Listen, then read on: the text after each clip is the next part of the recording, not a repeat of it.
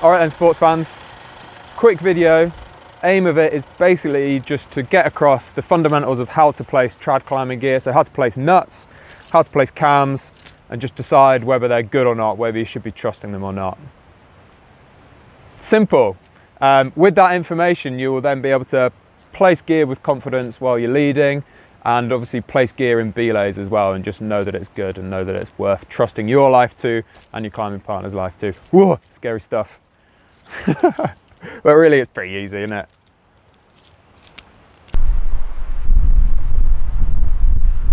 To start with, I thought I'd just mention generally how I rack the nuts on my harness to go climbing. So everyone's got their own system for this, but what I like to do is have three carabiners with small, medium and large. And basically the small ones are kind of smaller than my fingers. Medium ones are about finger size and the big ones are bigger than my fingers. And that just means when I'm climbing, I can hopefully quite quickly reach for the correct size set of nuts. So small ones for me, that's like one to four. So I've got two ones, two twos, two threes, two fours, and an offset four on there two fives, two sixes, two sevens, and again, they've got the offset five and six on there. So medium ones in the middle, and then big ones at the back. So I've got two eights, two nines, and then I actually only bother carrying 110 and 111 normally. But that'll change depending on uh, how hard or easy the route might be. But that's pretty standard for sort of VS through to kind of E4 or something like that for me. So they sit on the right,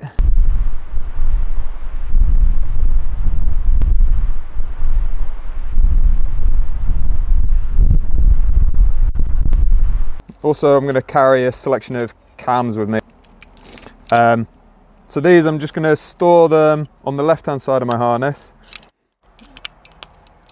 And a bit like with the nuts, I have small ones at the front and bigger ones towards the back. And that just means they're kind of easy, easy to grab as I'm climbing. I know where they're going to be. So as I'm racking up to do a pitch, I'll actually obviously have a look at the climb and think about what gear I'm going to need. So if there are really wide looking placements on it, I'll take some big kit. And if it's really thin cracks, I'll be taking lots of these small ones or really small ones. But just for now, that'll do. I can just have that on my harness.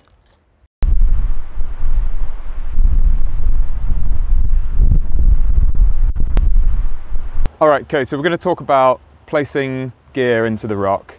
Um, there's not all that much to it really, it's not that complicated, but it is something that you kind of have to get right. And it's nice to have a little system in your head for actually deciding whether you're going to trust a piece of kit or not. Um, so we'll just go through the basics of that.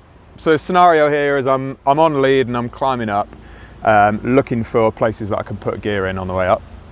Before I bother taking any equipment off the side of my harness, is I want to identify a kind of crack, a feature where I might be able to place some gear. Um, so that could be a parallel sided crack that might be good for a cam or that might be a constriction in the rock in, a, in the crack or in a pocket where I might be able to fiddle in a nut. Um, but before I take anything off my harness, I need to decide whether that rock is actually solid or not. Because there's no point placing a bit of kit and then deciding that actually the rock next to it um, not that solid and it's going to probably break off if you fall on it. So you can save yourself lots of time by ensuring the rock quality before you start messing around. So in here we've got, I'm just going to test the rock here. Feels really solid and we've got a fairly parallel sided crack in there. So I'm thinking I might be able to um, get a cam in there. So I just roughly want to have a look at how wide it is and then just take the cam off my harness that I think, I suspect is going to be the right size for it. So you can place cams horizontally like that or vertically into the crack. Um, yeah, it's absolutely fine to do both. And here, obviously, we've got a bit of a diagonal, so I want it to be somewhere between kind of a third and three quarters cammed, if you like. Uh, someone described this once to me as looking a bit like angel wings. So if you imagine a kind of real crude kid's drawing of an angel set of wings, that doesn't really look like angel wings. Somewhere in the middle there is kind of nice little Christmas card angel wings. And again, that is too cammed, so that's just going to be stuck and that doesn't look like an angel anymore. So somewhere between kind of there and there. So you've actually got quite a big variety of different size cracks that this cam will fit into. So when I've finished placing it, I want it to be within that range somewhere, if that makes sense. So I want to have a pretty good idea of where the cam's going to go before I start randomly like stabbing at the crack. As I place the cam, I'm going to squeeze it closed a little bit, put it exactly where I think it's going to be, and then let it open up. So that's a really good cam placement. So as I place it, I want to be considering the direction of pull. So if I do fall off on this cam, where's that pull going to come from? So you want to have the stem facing towards where that direction of force will be. Would you? I would hang on that. Absolutely. Yeah. I'd hang my ground off that one. Obviously a bigger cam. I can place that in there. And one nice thing about this placement is people often talk about cams walking in cracks, which is this idea that when you place it and move past it, the cam can kind of, if there's any movement from the rope, the cam can walk like that. So with this one, I can actually place the cam right up at the top there, so there's no way it can move any further. It can't do any more walking. So that's a nice little feature of this placement. That's pretty good, but what's quite often worth doing if it's not sitting nicely is just to try twisting it around and placing it the other way. Because obviously we've got, it's got quite different surface contact with the rock because of the spacing of the lobes. So sometimes, for whatever reason, it'll fit better one way rather than the other. And you'll be like, oh yeah, that's the one.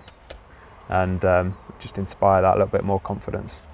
This crack again, it disappears quite a long way in, it's pretty deep. So I'm a little bit worried about, as I climb past this, it might work its way deeper into the crack, walk in and disappear. So what I could do then is just extend it. So pull that sling so it's a little bit longer. And if that wasn't enough extension, I could then put a quick draw on there as well. Even longer, extend that out. And then this is just a really long, flexible quick draw now. So hopefully that'll mean that my climbing rope as I go past isn't going to be affecting the cam placement at all. It's not going to be moving it. Um, and when I come to take these out, or when my second comes to remove this cam now, all they need to do is pull on that carabiner to set that back nice and neat, take the cam out, and they can keep climbing. Happy days.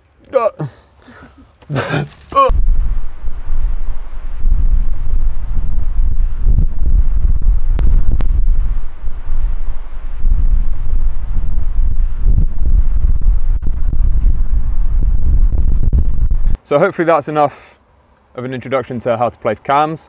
If they're in and they're good, the thing is to just trust them and keep climbing, you know, but it takes a really long time to build up that confidence with them. And partly that's because often we place them, but they never actually get tested, you know.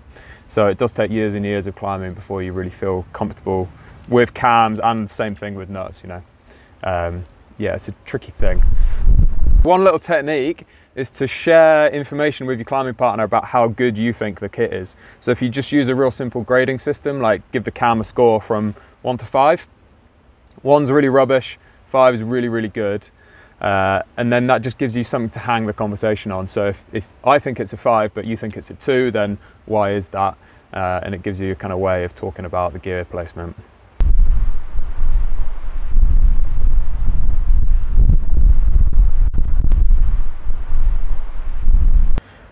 So here, there's a little section here where it's going from kind of wide to narrow and it's about finger size. So I think I should be able to get one of my smaller nuts into there. Before I even bother taking them off though, I want to decide whether I think the rock is good. So if the rock's loose, you'll usually get a different tone off it. So that bit's maybe a bit dodgy. But anyway, up here, I'm pretty happy with that. I'm gonna choose the nut that I think might fit best. And I'm not just throwing it in at random, I'm gonna really precisely try and put it where I think it's gonna sit nicely. And that's it, basically. If it wasn't sitting well, I could give it a couple of little tugs. But that's a good nut placement. I'm happy with that. I would use that as a runner on a pitch, no worries. What I want is lots of surface contact with the rock. So on here you can see that's just sort of molded in there nicely. It's always often worth trying spinning the nut around to see if it sits any better. That's a bit worse, can see it moving there. So I'm pretty happy with that. Um, I'm putting it in considering the direction of load that I'm anticipating. So if I'm climbing past this and fall off, the load is going to go the donk like that. So that should work for me pretty nicely. Um, this is a size 4. I could try a size 5 in here. So that's the next one up. Okay, so that again, that's not a bad placement, but we can see here there's a little bit of air where the metal's not touching the rock, so it's not quite as deep. It's a bigger nut, but the seating isn't quite as perfect. So in general, bigger's better as long as it's a good placement, but the flip side of that is I would always choose the one that is just sitting the most nicely, if, even if that means it's the next size down or a bit smaller. Other thing to remember is you can place these sideways like that.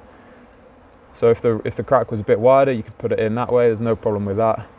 That way, that way, sideways, horizontal and cracked like that, no problem. As long as you, as long as it's in good rock, you've got good surface contact and the direction of pull is gonna work for that placement. Those are the things you wanna be worried about. Lovely. So I've, I've placed that runner fairly high, which is good, because as I climb past it, it's gonna be useful for that much longer. But as I go past it, I'm gonna look down on it and make sure it's as good as I think it is. Sometimes that change of angle just gives you a bit more information. Maybe it's not sitting as well as you first thought. So that's another little tip. And again, where's my rope gonna run as I go? Where's it coming from up below me and where's it gonna go as I keep climbing? And if I'm changing the angle of the rope significantly, or there's a little overhang here, uh, I might extend this quick draw just to make that nice loose hinge on the gear so that the rope's not going to be pulling on it and that should reduce the, the drag on my rope, yeah? So yeah, so that size 5 maybe isn't quite as good as the size 4 in that placement. Um, yeah, I was climbing with my mate Mike in Devon once and he was like halfway up a pitch, he was so tired and scared that he just got the whole set of nuts and went like that and clipped into it. And he was like, hold me! and just sat on them and uh, yes one of them held. There was like two or three of them. Well that's all right actually. But he just went like that threw them in. Not recommended not a recommended technique. Should be a bit more composed ideally. Don't do that at home, kids. it's pretty good though i was amazed they held yeah.